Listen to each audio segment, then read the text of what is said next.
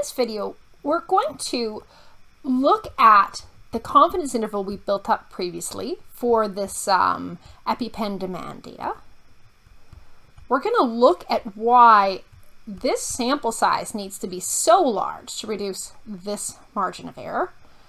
And we're going to discuss um, kind of the failings of just a confidence interval as an estimate and think about what else we could possibly consider um, when we're trying to estimate, um, in this case, demand data.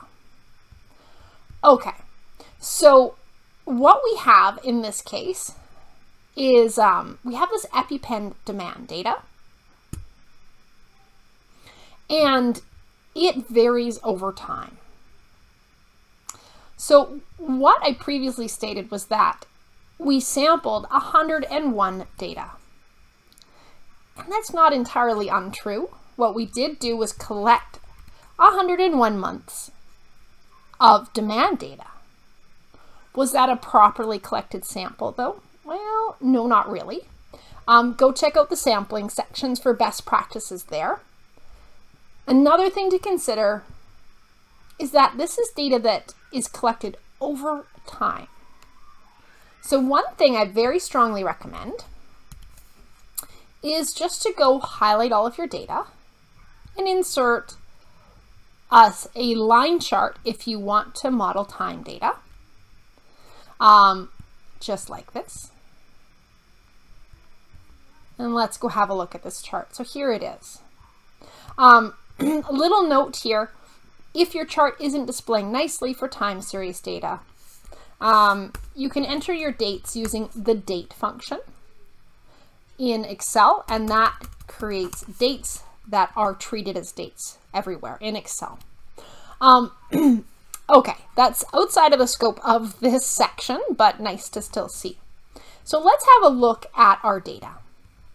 Again, a uh, couple big problems. One of them being that this wasn't a random sample. Um, yeah, there, there's quite a few problems with calling this a sample of 101 demands. Uh, one of them being that there's lots of fluctuations over time. So one consideration is that if you want to try to guess what the demand would be, you should sample at that same point in time across, for example, um, similar locations that have these demands, something like that. Um, and you should also consider maybe handling different points in time um, individually. There is a lot of fluctuation over time um, with this data, and simply modeling it with an average misses the mark most of the time. I'm just going to pause the video and put in a line that lies right on the average here and see how we do. Okay, so here's a line right at our average of 927. There are a handful of times where we're pretty close to that average, but most of the time in this set of data, we really miss the mark. Uh, we're quite far above that average and quite far below. Um, and again, we have these fluctuations over time. There are quite a few things you can do when you want to handle time series data. One simple one that I like in Excel is under data, it's the forecast sheet option. And uh, that builds up its own confidence interval. So I'm just going to show you that very quickly here. Um, that is one possible way among many to try to um, do some sort of estimations on future demand when you have this time series data with this data collected over time. Um, okay, so I'm just going to show you really quickly here a very different type of confidence interval that could be built up for this data using forecast sheet here. So I just highlight both the date and the actual data, click on the data tab and forecast sheet, and it builds up these forecasts for me going forward if you click on options, you can choose your confidence interval level. I have set it to 95% as well.